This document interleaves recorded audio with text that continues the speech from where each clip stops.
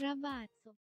ภาวันไม่มีจบโรเบิร์ตแจ็คเชื่อข้ามสาไม่มีอยู่ยังห่วงประทัดสัมผัสจตุรงค์ด้วนถึงขั้นเวียนใกล้ตัวบอลเผยเลขอัศจรรย์ภาพจากทุกโต๊ะข่าวเหล่าคนในวงการตลกมาร่วมไว้อาลัยอย่างหนานแน่น อาทิบอลเชิญยิ้ม กิฟโคกคูณ ถั่วแระเชิญยิ้ม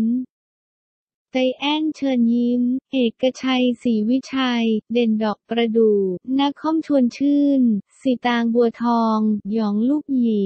นกวนิดา ส้มเช้งสามชา กระรอกเชิญยิ้ม สุโมกิกและลูกชาย เป่าเปาวลีจะอาสยาม จอยชวนชื่นสมจิตจงจอหอ อามกรกัน พีทพัชระ รุ่งสุริยา ทศพลหิมพานต์นางวิภารัตทิพย์ทองหรือแจ๋วภรรยาของโรเบิร์ตเผยว่าตนรู้สึกสบายใจมากเหมือนได้ปลดล็อกทุกอย่าง ซึ่งตนก็คิดว่าคุณโรเบิร์ตจะคิดเหมือนกัน เพราะอย่างก่อนหน้านี้ที่จะมีการเคลียร์กัน คุณโรเบิร์ตมาปรากฏตัวต่อหน้าตนที่บ้าน สีหน้าเขามีความเครียดอย่างเห็นได้ชัด ส่วนชุดก็เป็นชุดของโรงพยาบาลคุณโรเบิร์ตอยู่กับตนทั้งคืน แต่ไม่ได้คุยอะไรกันสำหรับทรัพย์สินของคุณโรเบิร์ต ที่มีอยู่ตอนนี้คือบ้านสองหลังและรถสองคันไม่มีภาระผ่อนใด ๆ แล้วบ้านหลังหนึ่งจะเป็นของตนส่วนอีกหลังหนึ่งเป็นของลูกๆภาพจากทุกโต๊ะข่าวตามหลักความเชื่อของคนโบราณที่ว่าสามวันเจ็ดวันคนตายต้องมาหา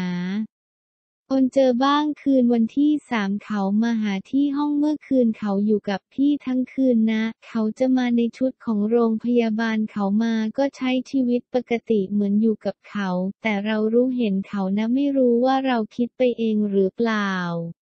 แต่ความรู้สึกเราสัมผัสได้มีเสียงรื้อของปกติเขาจะขาดแว่นตากับโทรศัพท์ไม่ได้ วันที่เขาป่วยหนักแว่นตากับโทรศัพท์เขาอยู่กับพี่ คืนที่สามพี่ก็เอาแว่นตากับโทรศัพท์วางไว้บนโต๊ะ รู้ว่าเขาต้องมาเอาแน่ ๆ ภาพจากทุกโต๊ะข่าวเวลาประมาณตีสองถึงสามเห็นมาเรื่อสายโทรศัพท์มีเสียงหยิบของตนก็รู้สึกได้ว่าเขามาแล้วตนไม่ได้คุยเหมือนเรารู้สึกว่าเขาพูดอะไรเราไม่ได้ยิน เขาจะนั่งอยู่ข้างๆ นั่งชันเขาอยู่แล้วก็พูดเสียงเบามาก เราฟังไม่ชัดว่าเขาพูดว่าอะไรเห็นรางๆ หน้าตาก็ปกติแต่เรารู้สึกได้ว่าเราเขาเครียด แต่มันเป็นแค่ความรู้สึกของเรา ภาพจากทุกโต๊ะข่าวภรรยาของโรเบิร์ตกล่าวว่า ตนคิดถึงมากมันคงต้องค่อยๆทำใจ เพราะเขาไม่อยู่แล้วเรามีกันอยู่แค่สองคนตั้งแต่อยู่ด้วยกันมาไปไหนเราก็จะไปกันสองคนนั่งกินข้าวสองคนหลังเลิกงานมาเขาชอบกินข้าวหลังเลิกงานตอนตีสาม ตนก็ต้องลงมาทำกับข้าวให้เขาต้องเตรียมไว้แล้ว เพราะว่าเขาไม่ชอบกินข้าวนอกบ้าน ต่อไปนี้ตนก็ไม่รู้จะทำให้ใครจะซักผ้ารีดผ้าให้ใครนายชัดชัยจำเนียนกุลหรือบอลเชิญยิ้มศิลปินตลกชื่อดังกล่าวว่า ตนไม่ได้มีเจตนาที่จะให้เลขเด็ด แต่ตัวเลข 08 ทุกอย่างมันตรงกันอย่างน่าตกใจ เลขฝาลงกับพศ 2508 วันเกิดของโรเบิร์ต นอกจากนี้ยังไปตรงกับทะเบียนรถของเขา 1089 และเสื้อที่เขาชอบใส่เลข 1980 ด้วยภาพจาก ทุกโต๊ะข่าวอย่างไรก็ตามอีกเลขที่ควรตามก็คือ 19 เพราะเขาเสียวันที่ 19 กันยายน 63 และวันที่เขาโพสต์ลงเฟซบุ๊กช่วงที่ป่วยวันแรกก็คือวันที่ 19 กันยายน 63 นอกจากนี้เลย 91 คือเลขทะเบียนรถของคุณแจ๋วภรรยาของคุณโรเบิร์ต ซึ่งคุณโรเบิร์ตจะตามเลขนี้ประจำสมัยยังมีชีวิตอยู่ และฝากบอกว่าไม่ได้ให้งมงาย แต่หากใครถูกลอตเตอรี่ช่วยแบ่งทำบุญให้กับคุณโรเบิร์ตด้วย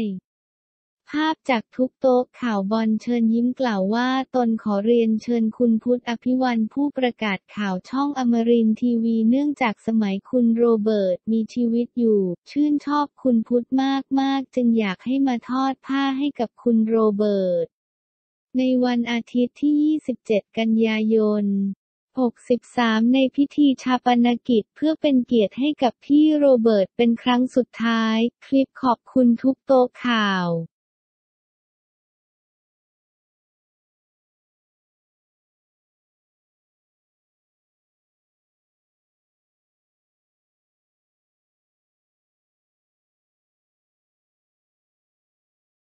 ตักบริบูรณ์เล่านาทีโรเบิร์ตสายควันมาหาทำเอาเมียตะโกนลั่นบ้าน โดยบอลเชิญยิ้มเล่าว่าตนคุยกับพี่นวลที่ระบุว่าโรเบิร์ตอยู่หน้าบ้านยืนปล่อยโฮเข้าบ้านไม่ได้ เพราะเจ้าที่ไม่อนุญาต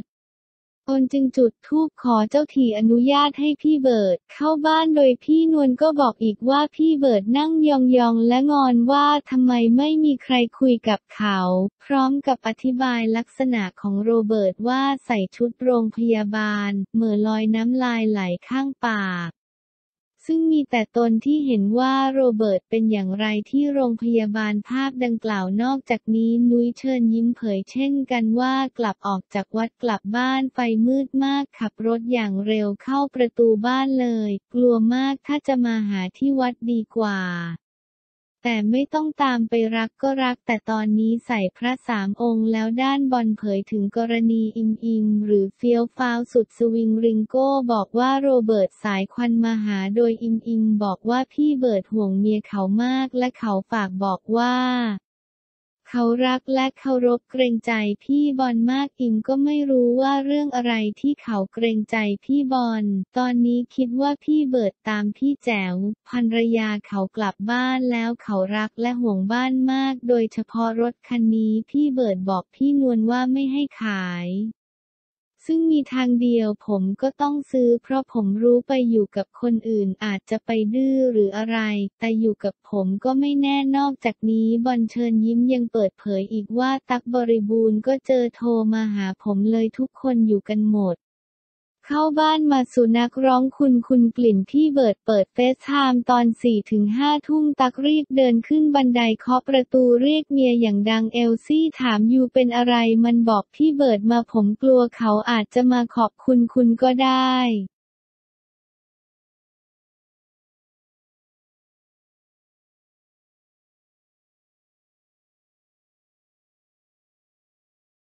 แพมเปรมิกาโพสต์ฉะหนิงปณิตารับไม่ได้ใส่มงกุฎเล่นกลางรายการ เตือนอย่าหาทำแพมเปรมิกาโพสต์ฉะหนิงปณิตาเกิดเป็นดราม่ามงกุฎนางงามขึ้นมาทันที เมื่อทีมมิสแกรนด์ไทยแลนด์